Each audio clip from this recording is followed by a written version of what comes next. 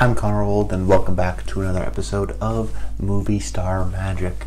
And this week we're going to be looking at the great Sigourney Weaver, I think one of the most likable actors of all time. However, she still hasn't sort of reached that serious Oscar caliber, really well respected actor, even though I think she's a very well liked actor and has had a really terrific and fascinating career. And in this episode, I'm going to break down her career arc as well as define what makes her such a great actress. But if you are new to the series, which you probably are, as this is the only second episode, I hope you enjoyed my Oscars predictions and reactions and sort of season that I've been doing now for over five years. We just passed our sixth season, which was a lot of fun.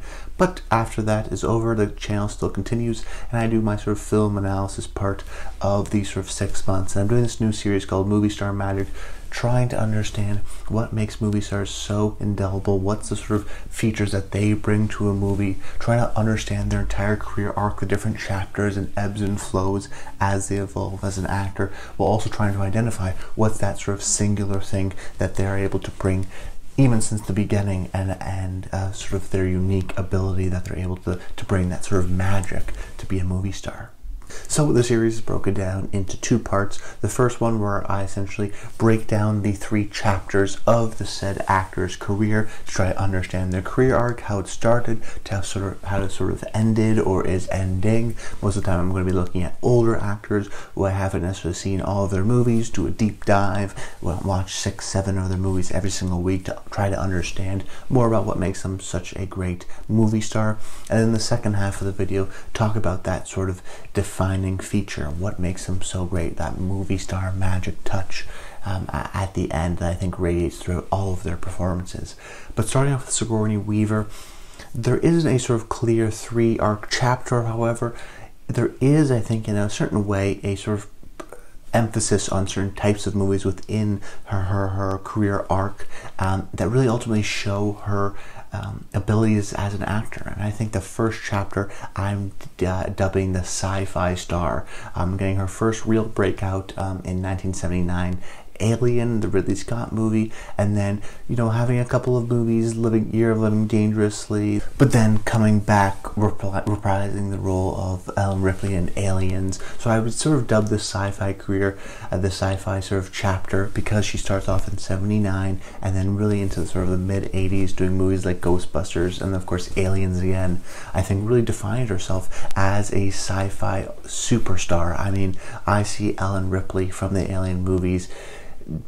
totally tied to Sigourney Weaver. You know, even though she's super successful and has done a plenty of other things, that's a sort of Luke Skywalker esque, Harry Potter esque legendary character that no matter what she does, she will be known as Ripley from the Alien movies. And, and many reasons why those movies are, are successful is because of her. Um, particularly, I think, the sort of leap. In the beginning, the first Alien movie, it's very much a sort of a horror movie, thriller movie, so she relies on more of her dramatic chops. However, when Aliens comes around in 86, she's a full blown action star. So I think the defining role of this sort of first chapter of the sci-fi star of Alien, Ghostbusters, and Aliens, I think the defining role here will be Aliens, just because it sort of to help define her as yeah, she was great in Alien, but that was still, I think, seen more as a sort of directorial feat and the special effects feat. But then when Aliens comes out, this really is a total action star, movie star kind of performance. And I think really helped define the female action star or even just the female actor. I mean, many times in the 40s, the female actors were the the cream of the crop. They were sort of the oftentimes the lead actors, and then in the 50s and 60s, that sort of went away, and even into the 70s in certain respects, we had the sort of complicated, twisted, dark man. Um, but then when we get to the 80s, I think Sigourney sort of really helped establish the sort of prototypical female action star for the next 40 years. Um, even still today, we're getting uh, similar sort of uh, characters to, to Ripley. But that being said, it's so indicative how influential this character is and what Sigourney brings to the character that made it so influential. And I think there's sort of sometimes bad lessons that have been um, brought from this movie. The sort of tough, hard-nosed, incredibly competent, but sort of a bottled-up female protagonist. Um, sometimes that's done poorly, um, but I think what Sigourney does so well here, and, and what the, the poor movies don't sort of imitate well, is that yes, this is a woman who is totally capable, is totally badass, who is definitely someone that can just get the job done and oftentimes sort of bottles up her emotions and her traumas. But what Sigourney's so uh, capable at doing is allowing those emotions really to overflow. That it's not in the dialogue, it's not necessarily in the story, but it's in her performance that we really understand some of her, her emotional vulnerabilities. I mean, particularly when it comes to, I think, a, a female action hero, I'm making that distinction because there are certain things that are innate to, to her and her performance and sort of the female perception and, uh, that uh, she really utilizes. I mean, just for the example of aliens, you know, her sort of motherly instincts for, for Newt sometimes become a vulnerability, but also become a strength of her and she really sort of allows that to, to be uh, uh, showed while also sort of particularly in, in, a movie like aliens 3 really uh, reveling in, in, that sort of trauma of these really intense experiences that particularly in aliens because of course it's the sequel but even in the first alien as the, the movie ends seeing you know all of her her friends die around her it, it, she is able to sort of have that vulnerability. But that being said, she's still incredibly capable so that when she's able to do the stunts, when she has the flamethrower and does the one liners, you're never sort of questioning, oh, is this sort of the right person? No, she does seem capable. She does seem sort of strict and, and militaristic, particularly in something like Aliens, because of course she had done it before. And think solidified her as an action star, someone that can do the action, but of course is such a great dramatic actor that, of course, also brings up a lot of the, the emotions, utilizing her vulnerabilities to um, play off that uh, capability and confidence. So tough but relatable, uh, credible physical performance in terms of just the stunts, but of course also that's still uh, a great performance to show off that emotional arc of the character. So this early chapter of the sci-fi star, I think, helped define her as a movie star. And then the second chapter she sort of moves into a more significant uh, dramatic period. I think really in the late 80s and then through the 90s, she really leans into the sort of dramatic role kind of a, of, of a prototype. Really between 79 and 86, nobody really knew what to do with Sigourney Weaver. We had the year of Living Dangerously and some odd movies, even Ghostbusters, though she's a sort of a, a, a side character. She's not one of the guys. Um, but then by the time the 80s happened, she really is sort of this bona fide movie star. Of course, she gets nominated for Aliens in 86 and then then in 88 uh, gets nominated for Working Girl and Gorillas in the Mist in the same year. So two performances, uh, both in different movies, but she was both nominated in the same year. And I think that really sort of uh, is the true breakout of her, both Aliens and then the coming back of the two Oscar nominations. And it shows people that, wow, yeah, she's an action star, but she can also do a lot of these dramatic roles. And it was interesting to see post Aliens really you know, she did the action stuff in the Alien franchise, but really she started to move into the dramatic roles, whether it be 1997's The Ice Storm or Copycat or The Death of the Maiden. I mean, we really see her in this sort of traumatic period, I guess you would call it. I would call it the second chapter, the sort of dramatic period, but it could be the sort of dramatic, dramatic period. Um, I would think of it almost like um, Elisabeth Moss in the 2010s, you know, whether it be in something like uh, The Ice Storm, where it's sort of a, a, a whittled away, sort of disenfranchised mother, or uh, traumatized. Uh, serial killer expert in something like Copycat. She has this sort of long, great stare that she utilizes and really does pivot towards that. I think getting the nomination for Aliens was kind of a, a, big deal because that movie was so big. But then when she gets Working Girl and Gorillas in the Mist, when she's really able to sort of dive into these leading roles, like proper leading roles, not love interests in the year of living dangerously or side interests in Ghostbusters, when she really sort of dives into them, she really sort of uh, brings in intelligence, but also uh, humor, but also serious dramatic tropes, uh, oftentimes sort of playing these traumatized characters. So I think that the defining role ultimately would be uh, Gorillas in the Mist, just because she's able able to play a real life person, Dian Fossey, who, who can be sort of silly but also very intense and serious and passionate. And I think that sort of passion and that heartbreak but also intelligence. It's a really sort of complex role i think is able to demonstrate the dramatic chops of sigourney. So i think really within the 90s and even something even something into the ice storm she really sort of leans into that um, that role more sort of serious adult minded dramas um, rather than the sort of sci-fi movies she got her start with.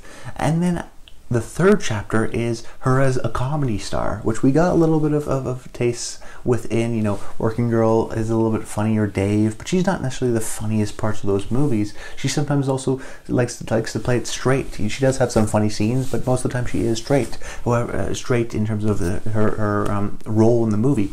That being said, in this sort of third chapter, which I think extends into today, we have, I guess you would call it the, the humorous or part humorous and part sort of self-acknowledging, self-mythologizing sci-fi legend. So you have a movie where she'll do straight up comedy like Galaxy Quest or Baby Mama. And then you have sort of later on movies which I think are like Cabin in the Woods and Avatar and Paul, which are pretty directly riffing on her as the sort of sci-fi legend. You know, in something like Avatar, she is the sort of wise doctor figure. Um, but it's not a coincidence that, of course, James Cameron reteaming with her has this sort of connection within the sort of past sci-fi lineage. But even in something like Cabin in the Woods, that's a, a direct reference. Even in, in Paul, with a, with a movie that's so sort of indebted to sci-fi movies in general, having Sigourney there as a sort of big bad at the end, the, the director there is not a coincidence. It's a, it's a conscious choice. But I think think the defining role here for her as a comedic star is Galaxy Quest because she that's the only person that could ever play that role. Because of course you have the sort of winky meta commentary of, of course the the show the movies based on. Uh, these actors who are on this Star Trek like show. Sigourney Weaver, while she was on Star Trek, has this, like I said, great sci fi lineage of, of Ghostbusters, but also the aliens, so it makes sense in this sort of meta way of the show, but also really sort of demonstrates her comedic chops. She's not just the romantic interest in Dave that has maybe one funny scene. She is very funny throughout the movie and gets her opportunities to sort of demonstrate that. Um, so then, you know, she, like I said, she'll go into sort of a, a baby mama and, and, can do that too. But I think Galaxy Quest was the first one where she could do a flat out comedy and be one of the funniest people in the movie and go toe to toe with someone like Tim Allen and, and, and totally rock with it. So Galaxy Quest, I think, was sort of another um, defining chapter within her sort of career arc and the way we are today. So I think the sort of last chapter will be the sort of comedic uh, star, but also sort of the self-referential legacy sci-fi queen, we'll call her, and that she's able to sort of meta meta use in this later half. And that's why she goes back to, of course, she's going to be a bunch of avatars. She's in Ghostbusters Afterlife. Uh, she has some. She'll do a Paul. She'll do a Cabin in the Woods. Things like that. To sort of reference back to some of the, the genre stuff she did early on in her career. Now into the second part of, this video, the defining feature. Uh, this is usually the title of the video and what I want to dub this is the comedic intellect. That's what I think of when I think of Sigourney Weaver because regardless of her performances, there's always something that radiates an intelligence, a competency, and a capability within her, her movies, particularly that intelligence because whether she's doing funny stuff in something like Galaxy Quest, it's still sort of a dry and sarcastic kind of a humor she brings, that intelligence. When we're looking at a movie like Working Girl, where she's sort of the original girl boss, she is someone that immediately you buy into her intelligence as someone that could do this as a young age because she exudes that sort of intelligence and also that confidence. So when we see her, um, you know, being a year younger than uh, the Melanie Griffith character, and sort of putting her has all her stuff together and is working in the sort of boys club, there isn't a, a surprise of like, oh, really that person? No, it's like an immediate yes. I understand this makes sense. Similarly to something like Gorillas in the Mist with Dian Fossey, you understand that this person has an intense amount of curiosity and passion and love for these animals, but also an intelligence and a drive that's just innate to, to, to her as, as a movie star, which is why in a movie like Alien, I'm not surprised that she's the last one surviving because she does seem to have this sort of intelligence, this resourcefulness, this capability. Even more so, they sort of play into it in something like Aliens, where she's literally done this before, so she knows how and already has this sort of skill set but you you buy that. So I say a comedic intellect because she uses this sort of intellect in um, a lot of her dramatic stuff, um, but also in her comedy, it is sort of more of a, a sophisticated, high uh, uh, um, sort of intellect, less on physical humor and gags and that sort of thing, and more on sort of dry, the dryness, the sarcasticness, these sort of quick, uh, witty dialogue. That's what I think of her, and even more so as we sort of transition into this Avatar-like period, her being the sort of wise doctor makes sense and fits, I think, really well within that, that franchise.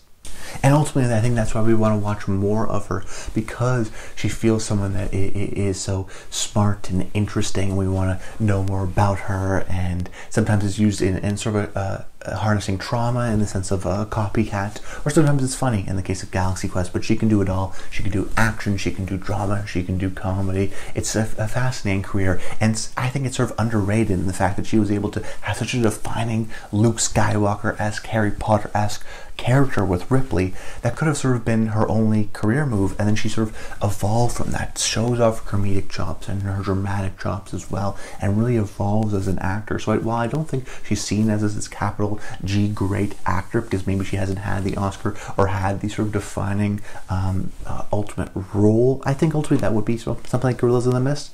It's also sort of ignoring that idea, which I don't believe in, that she's sort of this. Um, she's not as appreciated. I think is sort of ignoring the fact that she has, you know, a movie like Galaxy Quest or Aliens or these movies that are really well beloved, and she has great performances in these movies. That even though they're genre, they still are anchored by a great performance, in this case by Sigourney Weaver. But those are my thoughts on Sigourney Weaver, the comedic intellect. Please let me know in the comments down below your favorite Sigourney Weaver performance or movies. Uh, I'd love to hear your thoughts on just her career arc, how it sort of evolved, all that kind of stuff. I hope you enjoyed the video and the new series, but that's about it. Until next time, stay tuned.